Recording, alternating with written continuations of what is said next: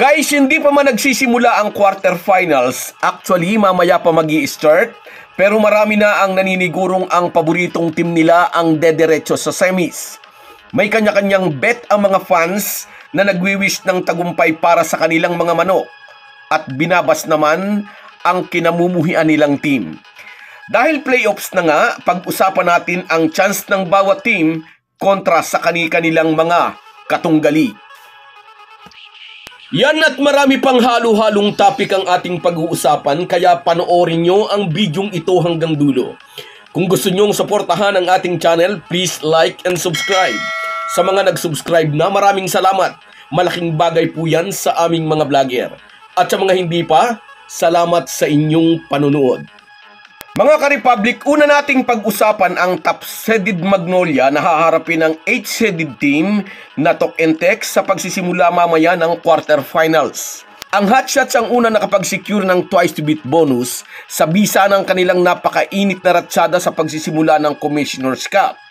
Nasingitan lang sila ng rain or shine at nitong huli natalo rin sila hindi natin alam kung kusang nagpatalo para pahirapan ng ibang kalaban, natalo rin sila ng Meralco.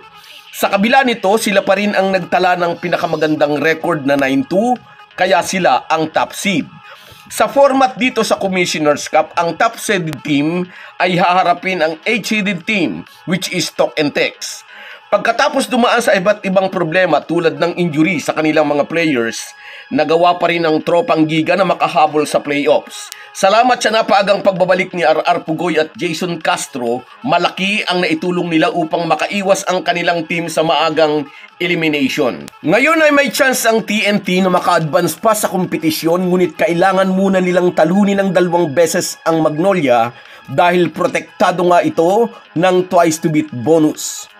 At ito ang usap-usapan, sinabi ito ni Snow Badwa sa kanyang No Cooking Show kung sakali na magagawa ng talk and text na ma-upset ang Magnolia at maigiya pa ni Jola sa finals ang tropang giga, posible raw na madelay ang pagbabalik ni Chot Reyes bilang coach ng TNT.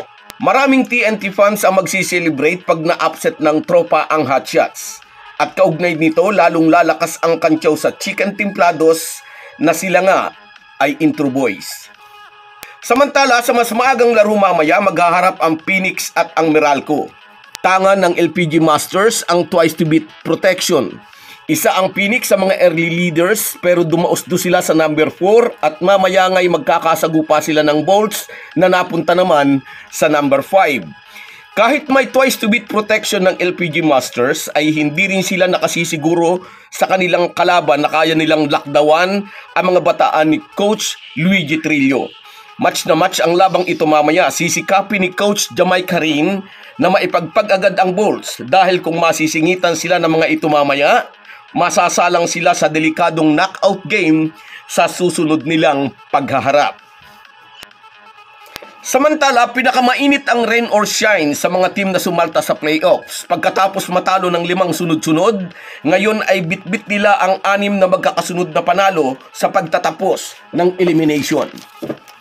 Ang problema, isang napakalakas na SMB team ang kanilang makakasagupa sa quarterfinals. Nagbalik na si Junmar Fajardo matapos ang hand injury at inactivate na rin ang power forward na si Vic Manuel na sumailalim naman sa knee surgery ilang buwan na ang nakaraan. Alam ni ROH coach Yang Giao matibay na pader ang kanilang babanggain pero palaban ang veteranong coach ng Elasto Painters. Masaya si CYG hindi lang para sa kanyang RO team kundi positibo rin ang kanyang tingin na ang kapwa nila independent team Phoenix ay nasa top 4 at ngayon ay may hawak na twice to beat.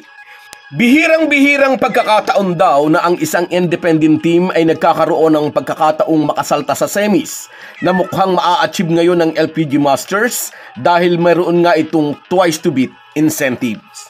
Nasa disadvantage position ngayon ang Rain or Shine kontra sa SMB ngayong playoffs. Ngunit anong malay natin? Nasa winning streak nga ang ROS going into these playoffs at malalaman natin kung maitutuloy-tuloy nila ang ratsada laban sa Beermen na lalo pang nagpalakas by bringing in new import na si Benny Botray. Nakapalit naman ni Ivan Aska. Sa kabilang banda, naging spark plug naman ng ROS ang import nilang si Tree Treadwell na nagbigay nga sa ROS ng anim na magkakasunod na panalo. Malalaman natin kung sino ang mangingibabaw sa pagsasagupa ni na Boatwright at Treadwell sa kanilang sagupaan mamaya. Samantala, natalakay na natin ang magiging sagupaan naman ng Barangay Hinebra at Northport Batang Pier. May hawak na twice to beat protection ang mga mag-aala.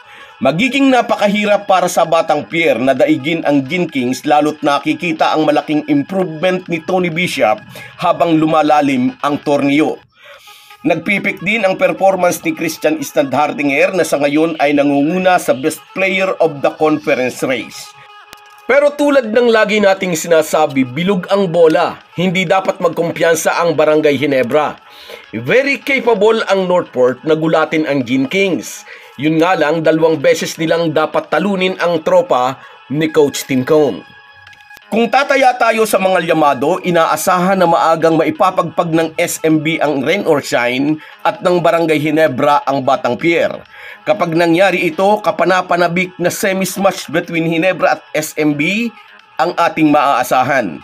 Sa kabilang pairings, kung mga llamado rin ang mananalo sa quarterfinals, ang Magnolia at Phoenix naman ang magbabakbakan. Yan ay kung walang mangyayaring upset. Abangers tayo mga idol. So guys, yan lang muna. Hanggang sa muli.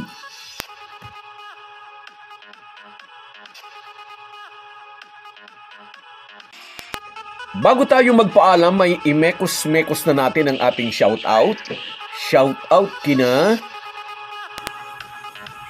Tortoga Randy, Scout Ranger,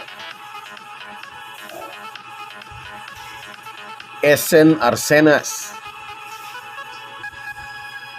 Joel Atienza, Reggie Jimenez, Almera Somola, Erwin Santiago and Virgilio Martinez. Ang bagong henerasyon. George Batong at si Pipito Gamba. Maraming salamat mga idol. Kahit gaano po tayo kabisi ay huwag po nating kalimutan ang ating buhay espiritual. Lagi po tayong magpasalamat sa bawat araw na dagdag sa ating buhay. Malaki po ang maitutulong ng pananalangin araw-araw. Isang paalala po mula sa inyong Halo Halo Sports Republic.